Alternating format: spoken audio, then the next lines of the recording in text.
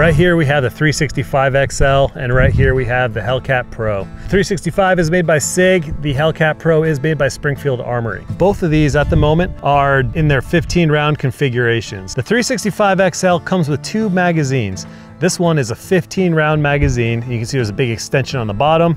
The flush fit magazine is a 12 round. The Hellcat comes with two 15 round magazines, which is inserted right now. So you can see that magazine is actually flush fit with the grip, so you don't have any additional extension. Now I'm gonna hold them both. You can see how much more the 365 XL sticks out. Now you wouldn't think it's a big deal, but the thing is, when you're carrying this inside the waistband concealed, depending on your configuration and how you're carrying it, this little grip extension can stick out and print. When I carry this and I carry this inside the waistband, I typically put the 12 round magazine in so it doesn't have that issue of sticking out. As far as capacity and configuration, I'm gonna say the Hellcat's the winner because you can get that 15 rounds without needing a magazine extension. Both of these firearms have day-night sights. So you have the fiber optics and then the tritium dot. Another thing that the Hellcat wins in is the co-witnessing sights. And the whole fact with the OSP version of the Hellcat Pro, you have an optics cut right in here. Same shield type cut, except you get to maintain your rear sight still. So if you want to put taller rear sights in, you want those co-witnessing backup sights, something like that, you can still have that in this configuration.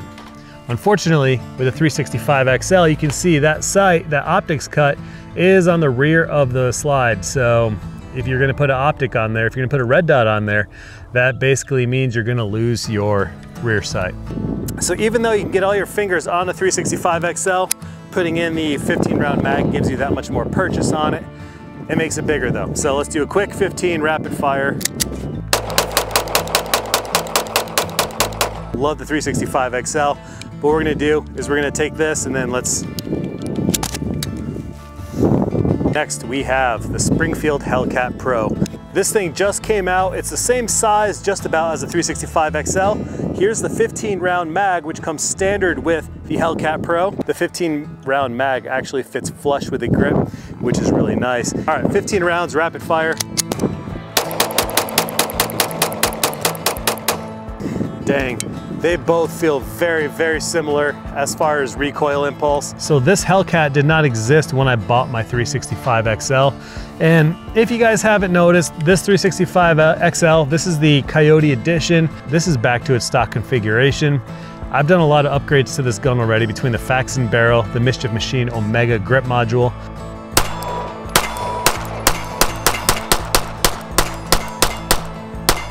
It looks way different typically, but I converted it back to how I bought it for a fair comparison for these two. All right, now as far as shootability, now again, that's a term I don't even know if it's a real word, but I've been using it for a lot of my reviews. Shootability to me basically means you can fire the gun easily, it doesn't hurt to shoot, it handles its own recoil, uh, snappiness, all that stuff, that all kind of is shootability. So I'm gonna say they're almost identical. I think if I had to compare the two together, the 365 XL still has slightly less recoil impulse than the Hellcat Pro. Um, I can kind of get back on target a little faster, but one reason behind that, and it could be because I've shot that 365, I've put a couple thousand rounds through this gun already because I've done so many videos on it, testing, trying out new parts, upgrades, all that stuff. I haven't had the opportunity to do that much shooting with the Hellcat Pro yet. So my own personal experience, my own impressions so far basically means the 365 XL is a little friendlier to shoot, at least for me, just because I'm used to it.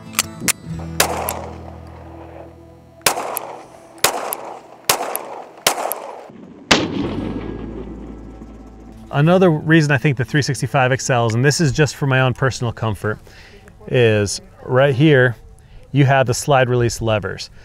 The Hellcat slide release lever is right there, right where your thumb, right where my thumb sits. The 365 XL slide release lever is right here, which is just in front of my thumb. 365 XL slide release lever is right here. So when I have my grip, it does not make contact with that slide, re slide release lever unless I'm looking to. Now with the Hellcat series in general, even the other Hellcats, not necessarily the Pro, my thumb is sitting right on top of that slide release lever. So I have to be conscious that it's there. Otherwise, I'm gonna keep that slide from locking back. Now again, I've talked about this in my initial release Hellcat Pro video. Not a problem with the gun. It's just an ergonomic training issue that I'm not used to shooting the Hellcats. That's just the way they're designed. So I've talked to plenty of people that that's not an issue because that's what they're used to shooting. So can't blame the gun for that.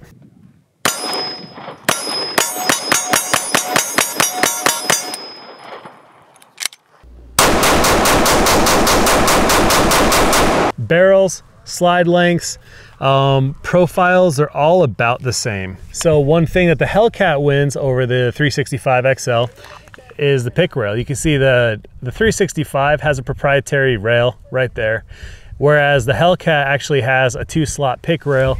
So you have more light mounting options. You don't have to buy a unique light that only matches with the SIG rails.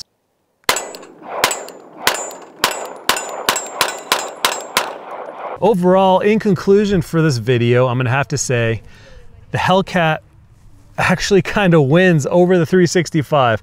So 365 to me, the two bonuses again, one of them is a slide release lever location. It's just a comfortable spot. The other benefit to the 365 is also gonna be the shootability.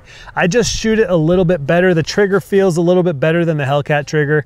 Not quite as stiff. It doesn't take as much to break that trigger.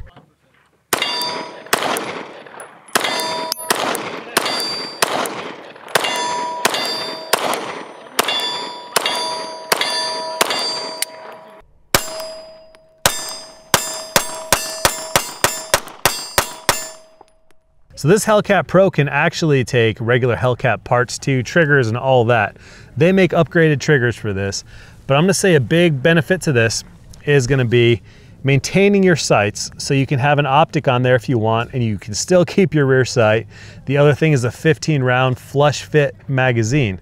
So you have a flush fit mag on your Hellcat Pro and it doesn't stick out that far. In fact, it gives you a perfect grip to shoot this. Whereas this guy with a 15 round mag, again, you can see the amount that sticks out on the side. MSRP is just about the same for both as well, which is pretty cool. Overall, I think the Hellcat wins slightly over the 365 XL. However, I don't think you can really go wrong with either. I'm pretty much still gonna carry my P365 just because I've done a lot to it and I've really customized it and made it myself. However, I've decided to also add the Hellcat Pro into my rotation too. I love that size up just above the micro compact level when you get to that XL size level. It's like a micro XL compact. I don't know what you'd call it. I love it. Thank you all so much for watching. Again, shout out to True Shot Gun Club for supplying the ammo for this test. So thank you all so much. I'll see you guys later.